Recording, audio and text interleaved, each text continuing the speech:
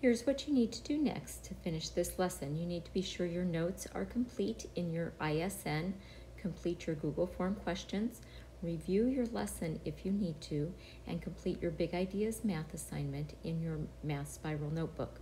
Be sure you submit that when it is 100% correct, not before, and track your progress on your playlist.